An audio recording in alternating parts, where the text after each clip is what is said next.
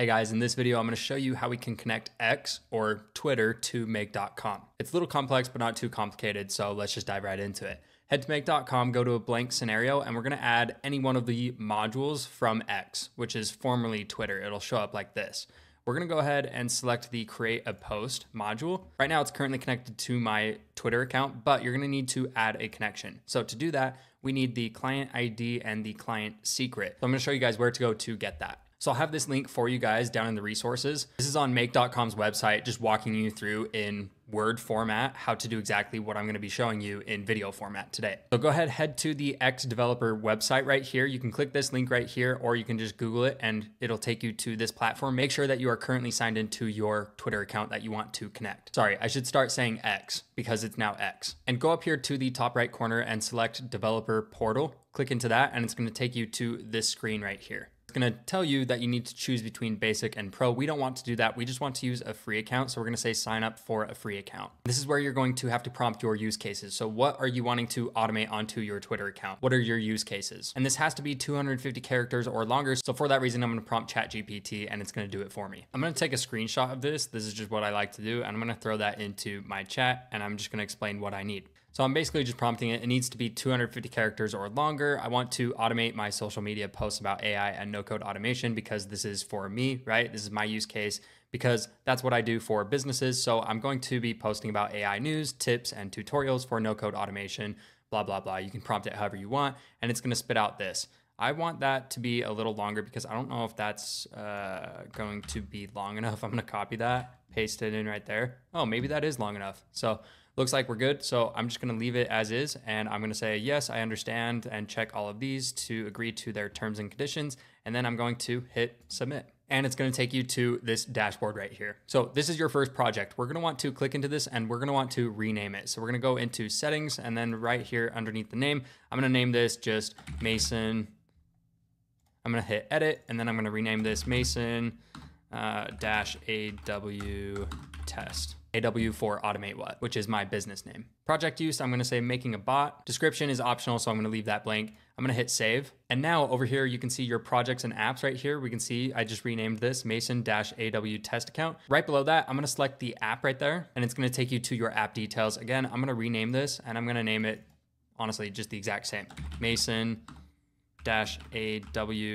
test account scroll down and hit save. Now what we need to do from here is we need to go to, again, this is underneath the project and the app. So we are going to user authentication settings. We need to set those up. And back here in the make.com documentation, it'll walk you through how to do that. We're going to be pulling these URIs and redirect URLs, and we're going to be pasting them into specific fields. I'll show you how. So back here to the X developer portal right here, we're going to do setup. And then we need to select our app permissions. So I want it to read and write and direct message. So we're going to do that. It's basically going to allow it to read posts and profile information, read and post direct messages, all that stuff. So I'm selecting that. As for the type of app, this is also required. I'm going to select web app, automated app, or bot because that's my use case. And then as for the app info, this is where we're pasting in these URIs and redirect URLs. We're gonna go back to this documentation right here in make.com, and we're going to copy these right here. So I'm gonna copy this first one right here go back to the developer portal. I'm going to paste that in right there, add another, and I'm going to go back here and it says,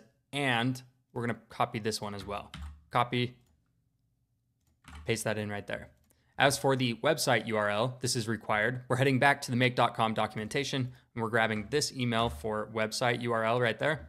And then we're copying that and then pasting that in right there. As for the rest of these fields, they are optional, so I'm just gonna leave them blank and we're gonna hit save. Changing permissions might affect your app. Okay, hit save, yes, and it's gonna take you to this screen where we now have our client ID and client secret. Again, that's what we need right here, client ID and client secret. So we're going to copy those and put them in these fields. So back here in the X developer portal, we are going to copy the client secret, or sorry, the client ID paste that in right there. And the client secret, we're pasting that in right there. And you're gonna want to name your connection. So if you want, you can keep it my X, formerly Twitter OAuth 2.0 connection if you wish. I'm gonna name it just, I'm keeping the exact same naming conventions as I did in the developer portal. So Mason dash uh, AW test account.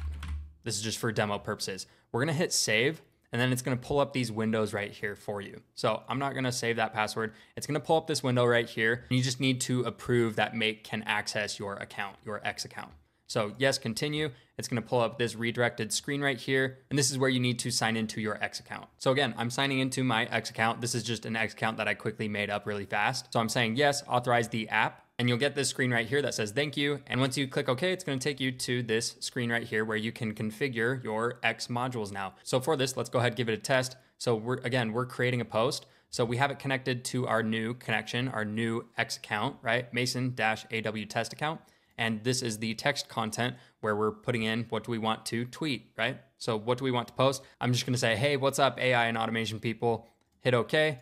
And we're gonna run this once and go back to my X account and see if it posted successfully. So I'm gonna refresh my page and we can see right here hey, what's up, AI and automation people? It's successfully connected. I hope that helps you guys. Hopefully, it wasn't too complicated for you. So, from here on out, you can now post automatically using make.com to your Twitter account or to your X account, I should say. By the way, my name is Mason. I love AI, I love automation. I specifically love make.com. So, go ahead, give me a follow if you haven't already, because I've got tons of useful content for you guys. Thanks, guys.